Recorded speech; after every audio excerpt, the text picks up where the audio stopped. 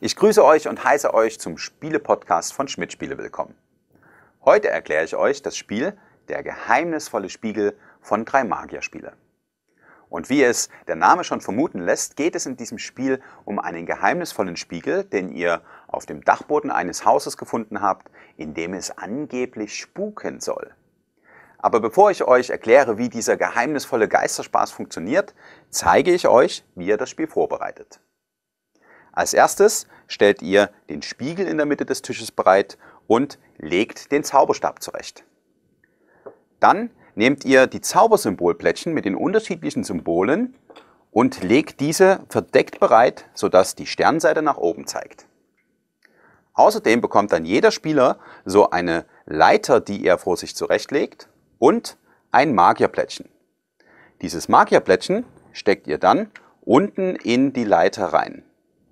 Tja, und dann kann es auch schon losgehen, indem der jüngste Spieler beginnt oder der Spieler, der als letztes in einen Spiegel geschaut hat. Ziel des Spiels ist es, euren Magier diese Leiter immer weiter hinaufklettern zu lassen. Und immer wenn ihr so ein Zaubersymbolplättchen gewinnt, steckt ihr dieses unten in eure Leiter hinein, wodurch euer Magierplättchen eben die Leiter immer weiter hinaufklettert. Und um so ein Zaubersymbolplättchen zu gewinnen, seid ihr abwechselnd an der Reihe. Wer am Zug ist, nimmt den Zauberstab und stellt den Spiegel so vor sich hin, dass die weiße Rückseite zu ihm zeigt und die Spiegelseite zu den Mitspielern. Dann zieht er so ein verdecktes Zaubersymbolplättchen und schaut sich das Symbol darauf geheim an. Wenn er damit fertig ist, aktiviert er den Zauberstab und versucht jetzt, dieses Symbol auf der Rückseite des Spiegels zu zeichnen. Die Mitspieler werden dann auf der Vorderseite ein geheimnisvolles Licht entdecken und versuchen zu erraten, welches Symbol dieses Licht darstellen will. Und das sieht zum Beispiel so aus.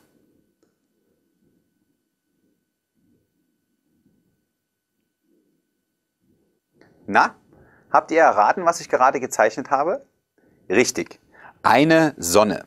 Dabei könnt ihr während des Zeichens immer einfach reinrufen, wenn ihr der Meinung seid, ihr habt erraten, welches Symbol gesucht wird.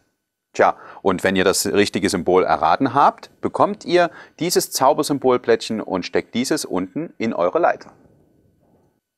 Der Spieler, der das Symbol richtig erraten hat, erhält jetzt außerdem noch den Zauberstab und wird nun seinerseits sich geheim ein Zaubersymbolplättchen anschauen und dann versuchen, dieses Symbol auf der Rückseite des Spiegels zu zeichnen.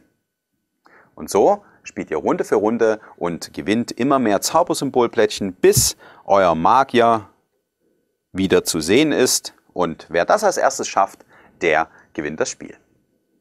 Ihr seht, der geheimnisvolle Spiegel ist ein spannendes Zeichenspiel für Groß und Klein mit einfachen Spielregeln und tollem, stimmungsvollem Spielmaterial. Ich wünsche euch viel Spaß beim Spielen. Bis zum nächsten Mal, euer Pion.